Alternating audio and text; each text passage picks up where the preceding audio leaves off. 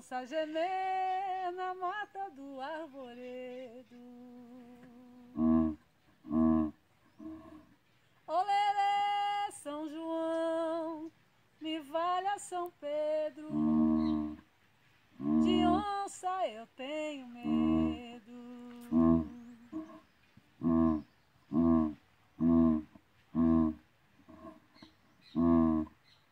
Gente, falei que ia trazer uma onça nessa aula. Eis a onça. É uma onça filhote, mas é uma oncinha, né? É o que temos. Então a onça é um instrumento que tem o ritmo do boi, que som de passarinho lindo. Ó. Aqui é de pele animal, né? No roncador. Nesse caso aqui não é, porque eu peguei um balde para fazer um- uma onça, pus um- uma madeirinha, fiz um buraquinho no balde, no centro do balde, coloquei a madeirinha, que é um, um gabitinho, né? Um, aquelas varetinhas de churrasco. Aí passei por aqui. Salve os pássaros. Passei por aqui, deixei sobrando um pedacinho por escola e passei um barbante para ir na hora que eu for puxar. O, o não vem, né? Então, na verdade, eu tenho que puxar assim, ó. Só puxa aqui. Esse é o roncador da, do boi. São instrumentos bem fortes. Onça. A onça, esse roncador, ele é da, da turma, né? Da turma da cuíca. Ou a cuíca é da turma do, do, da onça. Mas são instrumentos que imitam a natureza. Eles falam, né? Tem som, tem som, tem a voz, parece que tem a voz. A cuíca é mais agudinha, né?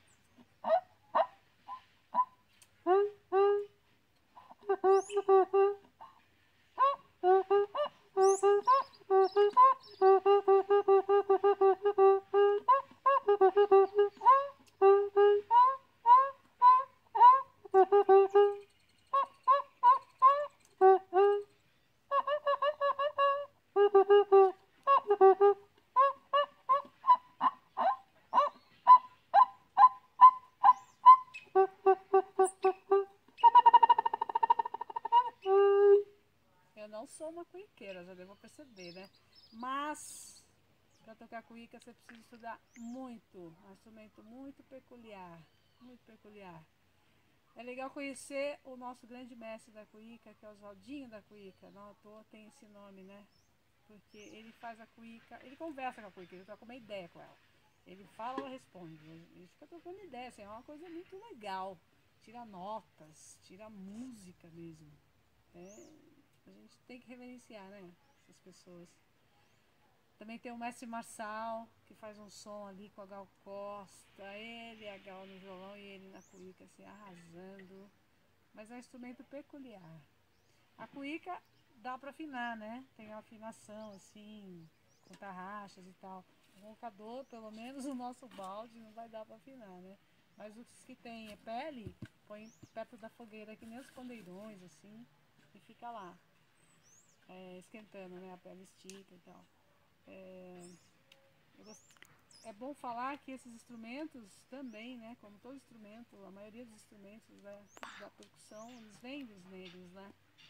E a gente deve honrar sempre. É aquilo que eu falo, vai pegar um instrumento, tem muita história atrás desse instrumento. E assim terminam nossos derradeiros encontros com os ritmos, com o ritmo do boi, os instrumentos de percussão, né? São esses que eu, que eu ia ensinar. As matracas, as maracas, maracás, pandeirão e o, a onça. E a partir daí, a próxima aula eu vou falar sobre o canto, ou vou dar alguns cantos que a gente vai incluir no nosso estudo. E depois a gente muda de assunto, vai outro tema, outro ritmo inclusivo, né? Foi a ciranda, o boi, daí a gente vem com outro ritmo inclusivo.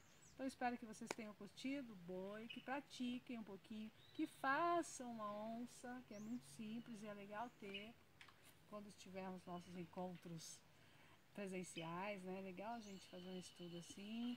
Então é, é isso que eu queria mostrar hoje. Cuíca ou roncador, o boi finalizado, próximo canto e espero que vocês pratiquem um pouquinho.